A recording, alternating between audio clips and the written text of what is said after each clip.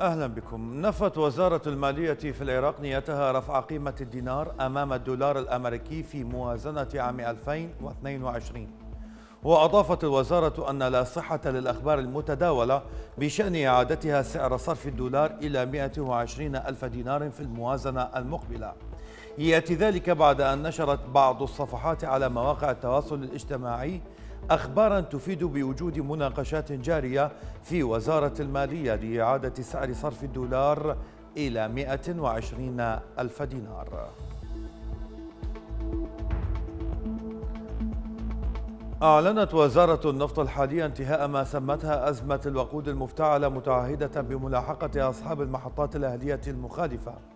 وأكدت الوزارة في بيان أنها تتابع الشكاوى والإجراءات القانونية في المحاكم المختصة والمتخذة بحق إدارات وأصحاب المحطات الأهلية المشيدة بالمخالفات المخالفة للتعليمات.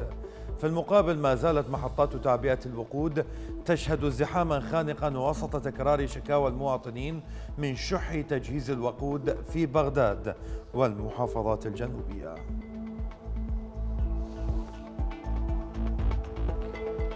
خفض البنك الدولي توقعاته لنمو دول منطقة الشرق الأوسط وشمال أفريقيا العام المقبل بسبب عدة عوامل أبرزها مخاطر التضخم الناجمة عن تجديد السياسة النقدية عالميا.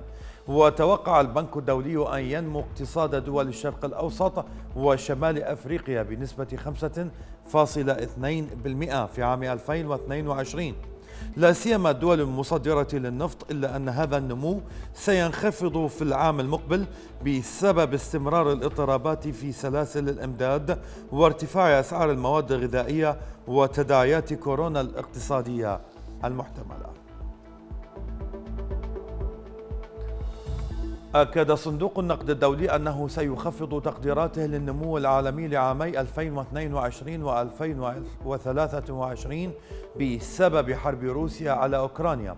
وأضاف البنك أنه سيخفض توقعاته لنمو في 143 اقتصادا تمثل 86% من الناتج الاقتصادي العالمي على الرغم من أن معظم الدول في العالم يتسبب في انتكاسة هائلة للدول آه، على الرغم من أن معظم الدول ستحافظ على نمو إيجابي مشيرا إلى أن الغزو الروسي لأوكرانيا يرسل موجات صدمة في أنحاء العالم بسبب ذلك ويتسبب في انتكاسة هائلة للدول التي تكافح من أجل التعافي من تداعيات فيروس كورونا التي لا ما تزال مستمرة.